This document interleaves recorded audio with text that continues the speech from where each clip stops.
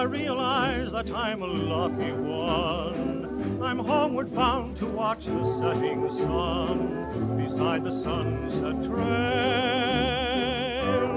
Friendly flowers seem to say, Good evening, wasn't it a perfect day? I nod my head and slowly wend my way beside the sunset trail. First I hear a nightingale, then I hear a whippoorwill. Someone cries, my daddy's home, as I come around the hill, just to prove how much I care for all the happiness that waits me there. I offer up a little silent prayer beside the sunset trail.